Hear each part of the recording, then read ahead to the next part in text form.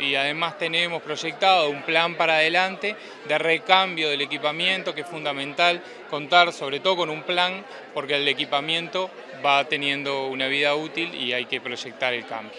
Eh, más de 5.000 cirugías por año, más de 50.000 consultas en asistencia externa, eh, más de 54.000 consultas eh, en la emergencia. Y hoy recorre uno el país, este, lo, hacemos permanentemente, y vemos estructuras asistenciales que son de, muy, de primer nivel, ¿no? es decir, que de alguna manera no tienen nada que envidiar a cuando uno tiene la oportunidad de viajar y, y por otros lugares del primer mundo.